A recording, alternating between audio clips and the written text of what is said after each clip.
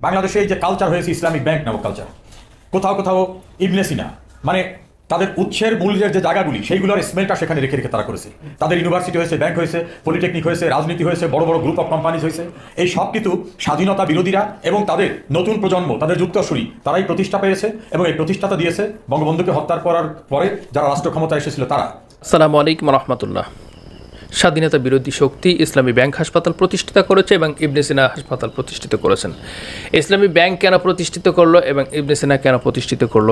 এ ব্যাপারে জনাব মন্ত্রী, জনাব প্রাণী সম্পদ, মৎস্য প্রাণী সম্পদ মন্ত্রী জনাব সম রেজাউল করিম সাহেব যে কথাগুলো বলেছেন আপনাদের সামনে উপস্থাপন করার চেষ্টা করছি এবং এই কথাগুলো কতটুকু যুক্তি, কতটুকু যৌক্তিক আপনাদের সামনে দেখানোর চেষ্টা করছি। আমরা প্রথমে ভিডিওটি দেখে নেই, তারপর আমরা পরবর্তী আলোচনায় চলে যাব ইনশাআল্লাহ। বাংলাদেশে এই যে কালচার হয়েছে ইসলামিক ব্যাংক নামক কালচার কোথাও কোথাও ইবনে সিনা মানে তাদের উৎসের মূল্যের যে জায়গাগুলি, সেইগুলোর স্মেলটা সেখানে রেখে রেখে তারা করেছে। তাদের ইউনিভার্সিটি হয়েছে ব্যাংক হয়েছে পলিটেকনিক হয়েছে, রাজনীতি হয়েছে, বড় বড় গ্রুপ অফ কোম্পানিজ হয়েছে। এই সব কিছু স্বাধীনতা বিরোধীরা এবং তাদের নতুন প্রজন্ম, তাদের যুক্তসূরি তারাই প্রতিষ্ঠা পেয়েছে এবং এই প্রতিষ্ঠাতা দিয়েছে বঙ্গবন্ধুকে হত্যা করার পরে যারা রাষ্ট্র ক্ষমতা এসেছিল তারা। আমাদের অস্তিত্বের উৎসমূলে ফিরে যেতে হলে কোনোদিনই ভুলে যাওয়া যাবে না গণহত্যার কথা, নির্বিচারে আমাদের উপরে পাকিস্তানি হানাদার বাহিনীর ঝাঁপিয়ে পড়ার বর্বরচিত ঘটনার কথা। কোনোদিনই ভোলা যাবে না যে দেশে দুইটা পক্ষ। একটা পক্ষ স্বাধীনতা চেয়েছে, আর একটা পক্ষ স্বাধীনতা চায়নি। পৃথিবীর কোনো দেশেই পরাজিত শক্তিরা ফিরে দাঁড়াতে পারেনি, কিন্তু দুর্ভাগ্যজনক হলে সত্য যে বাংলাদেশেই পরাজিত শক্তিরা রাষ্ট্র ক্ষমতায় এসেছে। আমাদের দেশে কিন্তু প্রত্যক্ষ পরোক্ষভাবে ছাব্বিশ বছর স্বাধীনতার পরাজিত শক্তিরা রাষ্ট্র শাসন করেছে। এবং এই ছাব্বিশ বছরে তারা কিন্তু ডালপালা, ফুলে ফলে সুশোভিত হয়েছে। তাদের অর্থনৈতিক সমৃদ্ধি এসেছে, প্রশাসনে, বিভিন্ন বাহিনীতে, সর্বত্র রাজনীতিতে তারা প্রতিষ্ঠিত হয়েছে। বাংলাদেশে যে কালচার হয়েছে ইসলামিক ব্যাংক নামক কালচার কোথাও কোথাও ইবনে সিনা মানে তাদের উৎসের মূল্যের যে জায়গাগুলি, সেইগুলোর স্মেলটা সেখানে রেখে রেখে তারা করেছে। তাদের ইউনিভার্সিটি হয়েছে ব্যাংক হয়েছে পলিটেকনিক হয়েছে, রাজনীতি হয়েছে, বড় বড় গ্রুপ অফ কোম্পানিজ হয়েছে। এই সব কিছু স্বাধীনতা বিরোধীরা এবং তাদের নতুন প্রজন্ম, তাদের যুক্তসূরি তারাই প্রতিষ্ঠা পেয়েছে এবং এই প্রতিষ্ঠাতা দিয়েছে বঙ্গবন্ধুকে হত্যা করার পরে যারা রাষ্ট্র ক্ষমতা এসেছিল তারা। আমাদের ভুলে গেলে চলবে না, খন্দকার মোস্তাক কিন্তু প্রথম রেডিও ভাষণে বাংলাদেশকে ইসলামিক প্রজাতন্ত্র ঘোষণা দিয়েছিল।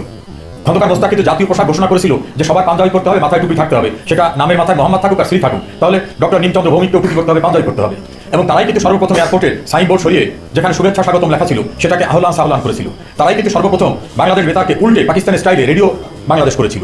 একইভাবে সর্বত্র আবার পূর্ব পাকিস্তান প্রতিষ্ঠিত করার যে প্রক্রিয়া, সেটা কাগজ কলমে, রাষ্ট্রীয় জায়গায় এবং তার ধারাবাহিকতায় কিন্তু গোলাম আজমকে পাকিস্তানি পাসপোর্ট নিয়ে বাংলাদেশে তারাই আসতে দেয়। এবং তারাই কিন্তু স্বাধীনতা বিরোধী রাজাকার শাহাজিজকে এদেশের প্রধানমন্ত্রী করে মশুর রহমান জাদুমিয়াকে সিনিয়র মন্ত্রী করে জয়পুরহাটের আব্দুল আলীমকে মন্ত্রী করে, মাওলানা মান্নানকে মন্ত্রী করে, এবং এভাবেই তারা কিন্তু শুরু করে। এবং নতুন অধ্যায় তারা সংযোজন করল সর্বপ্রথম সংবিধানের আটত্রিশ অনুচ্ছেদকে সংশোধন করে সেখানে ধর্মভিত্তিক রাজনৈতিক দল শুরু করার সূচনা করল। সেটা নেতৃত্ব দিলেন মাওলানা আব্দুর রহিম। দলটার নাম হলো ideal Islamic democratic league. Actually Islamic democratic লীগই বেনামিত ওটি ছিল জামাত ইসলাম এবং মুসলিম লীগের সম্মিলিত একটা দল। ওই বঙ্গবন্ধুকে হত্যা করতে না পারলে কিন্তু ধর্মভিত্তিক রাজনীতি এবং স্বাধীনতা বিরোধীদের রাজনীতি আসতে পারতো না। তারাই কিন্তু মাওলানা আব্দুর রহিমকে শুধু না খানে সবুর থেকে শুরু করে সবাইকে সামনের দিকে নিয়ে আসলো এবং তাদেরকে রাজনীতিতে পুনর্বাসন করল। তার ধারাবাহিকতায় পিস কমিটির সদস্য আব্দুর রহমান বিশ্বাসকে দেশের রাষ্ট্রপতি হতে আমরা দেখলাম। ধারাবাহিকতা আমরা দেখলাম মতিউর রহমান, নিজামী আলী হোসান মুজাহিদ মুজাহিদ, সালাউদ্দিন কাদের চৌধুরী, আব্দুল আলিম, এদেরকে বাংলাদেশের শাসন ক্ষমতায় বসানো হলো। নামটা ছিল বাংলাদেশ, ফ্ল্যাগটা ছিল আমাদের বীর মুক্তিযোদ্ধাদের সিনিয়র ফ্ল্যাগ। কিন্তু কার্যত বাংলাদেশটা আবার সেই পাকিস্তানি রাষ্ট্রে পরিণত হয়েছিল। এবং বঙ্গবন্ধুকে যেদিন খুন করা হয়, ওর পরের দিনই কিন্তু কিছু রাষ্ট্র এই দেশকে স্বীকৃতি দেয়। অর্থাৎ তাদের টার্গেট ছিল যে পাকিস্তান বিচ্ছিন্ন করা শেখ মুজিব, তুই বেঁচে থাকা অবস্থায় আমরা কোনো রকম এই দেশকে স্বীকার করব না। এই জন্য ষোলোই আগস্ট কোনো কোনো রাষ্ট্র বাংলাদেশকে স্বীকৃতি দেয়। এতকাল বসেছিল যে ও না যাওয়া পর্যন্ত আমরা এই দেশকে স্বীকৃতি দেবো না। অর্থাৎ পাকিস্তানি অবয়ব, দেশের ভিতরে, দেশের বাইরে বড় শক্তি। সম্মিলিতভাবেই কিন্তু পঁচাত্তরের, পনেরোই আগস্টের পরে বাংলাদেশটাকে গিলে খেয়ে ফেলেছিল। এটাকে আবার পাকিস্তানি রাষ্ট্র শুধু নামটা রেখেছে। সেখান থেকেই মোহাম্মদ আলী ভাই যে কথাটা বললেন যে কেন আমরা পারিনি? ছাব্বিশ বছর যারা রাষ্ট্র ক্ষমতায় ছিল আওয়ামী বাইরে, চোখ বন্ধ করে তাকিয়ে দেখুন, তাদের ভিতরে ওই পাকিস্তানি ভাবধারা, পাকিস্তানি চিন্তা চেতনা পাকিস্তানি কুশীলকরা তারাই প্রতিষ্ঠিত ছিল। গোলাম আজম কে ছিল? পাকিস্তান পুনরুদ্ধার কমিটির আহ্বায়ক ছিল, যিনি দেশ স্বাধীন হওয়ার পরেও বিশ্বে একটা সংগঠন করছিলেন, নাম হলো পাকিস্তান পুনরুদ্ধার কমিটি। সেটা আহ্বায়ক ছিলেন গোলাম আজম। সেই গোলাম আজমকে পাকিস্তানি পাসপোর্ট সহ বাংলাদেশে এসে এখানে থাকতে দেওয়া হলো। সম্মানিত ভিয়ার্স দেশে প্রবাসে কাছে জুড়ে যে যেখানে আছেন, সকলের কাছে উদত্ত আহ্বান জানাচ্ছে। আজকের ভিডিওটি উপস্থাপনায় বা আজকের ভিডিওটি যৌক্তিকতা আজকের ভিডিওটি এক্সপ্লেন টোটালি একটি কথা। আপনাদের কাছে কেমন মনে হয়েছে, কী বিষয়ে আপনারা অবশ্যই শেয়ার করবেন এবং জানিয়ে দেবেন। আজকের বিষয়টি আপনার কাছে কেমন মনে হয়েছে? আসলে তিনি যে কথাগুলো বলেছেন বাংলাদেশে একটি কালচার হয়ে গেছে ইসলামী ব্যাংক, যেতে হবে। বাংলাদেশে একটি কালচার হয়ে গেছে ইবনে সিনা হাসপাতাল। এবং প্রত্যেকটি কাজ এবং প্রতিষ্ঠা প্রতিষ্ঠান করেছেন তারা। বড় বড় শিল্প, কলকারখানা করেছেন, তাদের ইসলামী ব্যাংক হাসপাতাল হয়েছেন, তাদের ইউনিভার্সিটি হয়েছে, তাদের বিভিন্ন প্রতিষ্ঠান হয়েছে, অর্থ- অর্থনৈতিকভাবে স্বাবলম্বী হয়েছেন। এটা সবই করেছে স্বাধীনতা বিরোধী। আচ্ছা স্বাধীনতা বিরোধী যদি হয়ে থাকে বাংলাদেশের, শুরু থেকে আজ পর্যন্ত, উনিশশো একাত্তর সাল থেকে আজ প্রায় তিপ্পান্ন বছরের পদার্পণ করেছে বাংলাদেশের এই জনগণ, এই জনগোষ্ঠী, এই ভূখণ্ড। আমরা স্বাধীনতা সার্বভৌম মুহূর্তকে শ্রদ্ধা, ভরে স্মরণ করি। বাংলাদেশের এই স্বাধীনতা, এই সার্বভৌমত্ব এবং মাটি মানুষকে আমরা প্রাণের চেয়েও ভালোবাসি। আসুন দেশকে উন্নয়ন করি। কিন্তু বিষয়টি হচ্ছে যেটা থেকেই যায়, কেন বিতর্কিত হচ্ছে? একটি কথা বিতর্কিত কেন হচ্ছে? স্বাধীনতা বিরোধী শক্তিরা, ইসলামী ব্যাংক হাসপাতাল তৈরি করেছেন। স্বাধীনতা বিরোধী শক্তিরা ইবনে সিনা হাসপাতাল তৈরি করেছেন। স্বাধীনতা ব্যাংক শক্তিরা, বায়োফার্মা ফার্মাসিউটিক্যালস লিমিটেড তৈরি করেছেন। স্বাধীনতা ব্যাংক মানে বিরোধী শক্তিরা এই ইসলামী ইউনিভার্সিটি তৈরি করেছেন, আল মানারাত ইউনিভার্সিটি তৈরি করেছেন। বিভিন্নভাবে তারা এগিয়ে গেছেন। বিভিন্ন কল কারখানা জনগোষ্ঠী বা জনবল তৈরি করেছেন।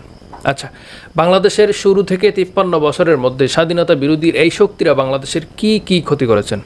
ইসলামী ব্যাংকে আপনি কি কি ক্ষতি পেয়েছেন? ইবনে সেনাতে আপনি কি কি ক্ষতি পেয়েছেন? কোন কোন ক্ষতির সম্মুখীন বাংলাদেশ হয়েছে? কোন কোন ষড়যন্ত্রের শিকার বাংলাদেশ হয়েছে? আপনাদের কাছে আসলে একটু বলি, বাংলাদেশে যত রকম ব্যাংক হয়েছে, যত রকম বিমা হয়েছে, যত রকম প্রতিষ্ঠান হয়েছে, অর্থনৈতিকভাবে ব্যাংকিং জগতে বা বাংলাদেশের, বাংলাদেশ ব্যাংকের আওতায় যে ব্যাংকগুলো হয়েছে, সর্বপ্রথম বাংলাদেশ ব্যাংকের আওতায় সর্বশ্রেষ্ঠ এবং সবচেয়ে দায়িত্ব নিয়ে কথা বলতেছি যে সবচেয়ে বেশি বেশি এবং জনপ্রিয় হয়েছেন ইসলামী ব্যাংক।